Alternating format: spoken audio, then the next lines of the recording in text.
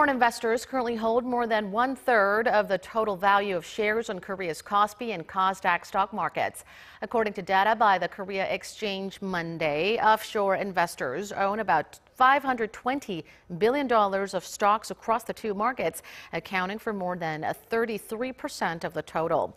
Foreign ownership of stocks on the two exchanges reached its peak on July 21st this year at some 550 billion US dollars worth of shares before this figure dropped during a period of market correction.